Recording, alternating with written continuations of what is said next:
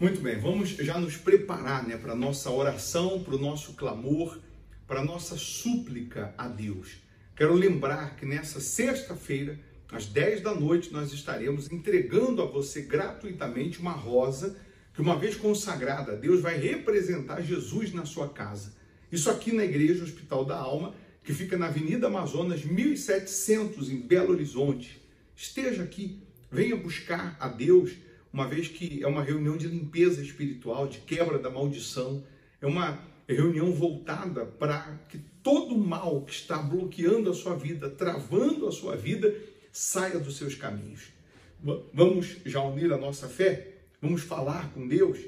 Já deixa o like aí, dá um cliquezinho nesse joinha, ou então também se inscreva no canal se você não é inscrito, tá bom? Se possível, feche os seus olhos. Meu Pai, em nome do Senhor Jesus. Aqui estamos mais uma vez perseverando em oração. Aqui estamos mais uma vez crendo na tua direção, na tua orientação, na tua palavra. Meu Deus, nesse momento, ilumina a mente, ilumina os pensamentos dessas pessoas.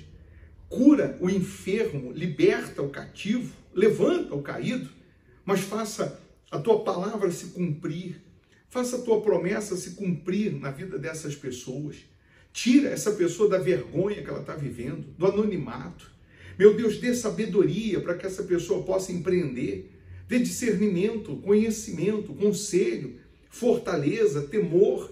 Meu Deus, em o nome de Jesus, toma a frente nas negociações, toma a frente, meu Deus, na empresa, toma a frente na família, toma a frente na vida desta pessoa e conduz esta pessoa aos pastos verdejantes a vida regalada que o Senhor promete, se há um mal agindo, direto ou indiretamente, que ele seja amarrado agora. Se há um espírito atuando, que ele seja acorrentado, pois eu ordeno todo o mal, em o nome de Jesus, sai agora.